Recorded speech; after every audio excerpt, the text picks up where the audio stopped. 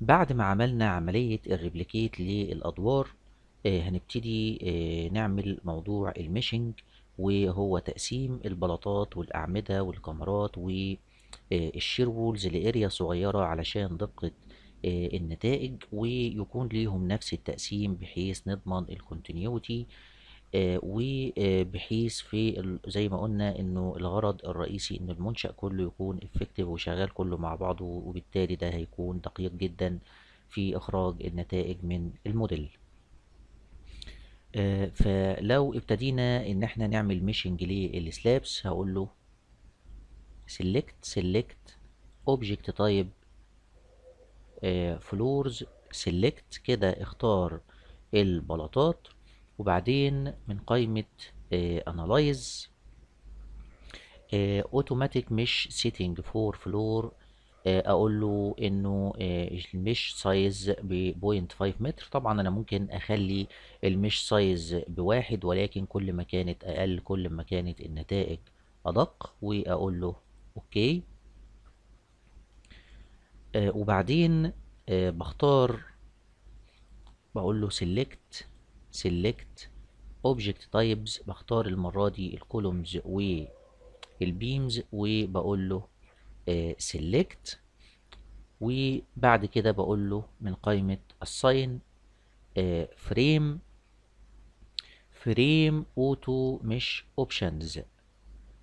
Frame auto مش آه، بتأكد إنه آه، المش at intermediate joints متفعلة. والمش at intersection with other frames and area edges متفعلة واقول له آه، OK آه، بختار تاني من previous selection أو من نفس ال option select select object types لل columns وال beams واقول له select واقول له آه، assign frame آه، frame floor meshing options وأقول له include selected frame object in mesh وأقول له آه، apply آه، يبقى كده no selected object were found طيب أختار تاني أقول له select select object types لل columns وال beams وأقول له select وأقول له apply وأقول له okay okay.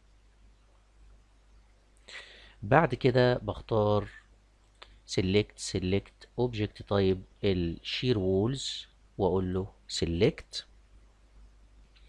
وكذلك الأمر من قائمة assign shell آه wall auto mesh options.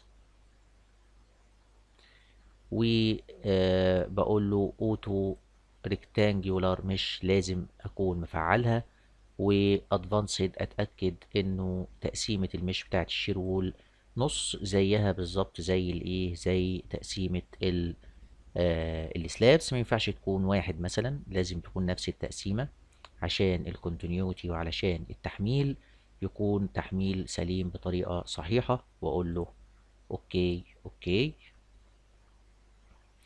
يبقى اذا آه قسمنا وعملنا meshing لل slabs وال beams والكمرات آه وفي الآخر علشان أضمن إنه overall ال meshing متناسقة ومتحدة مع بعضها ونفس تقسيمة ال joint لل slabs ال node نفسها ماشية مع ال node الخاصة بال shell بختار المنشأ ككل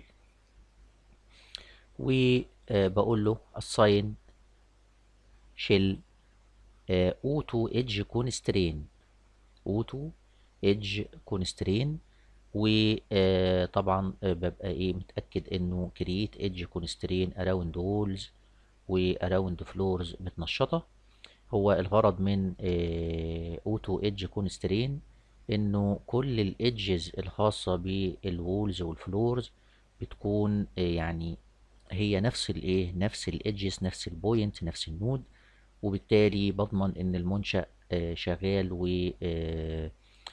شغال بطريقة صحيحة وبالتالي النتائج نفسها إن شاء الله هتكون سليمة ودقيقة جدا.